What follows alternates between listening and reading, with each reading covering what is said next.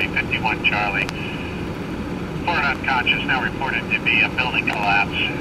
15,310 Holly Hill Drive, crossing to Edge Hill Drive.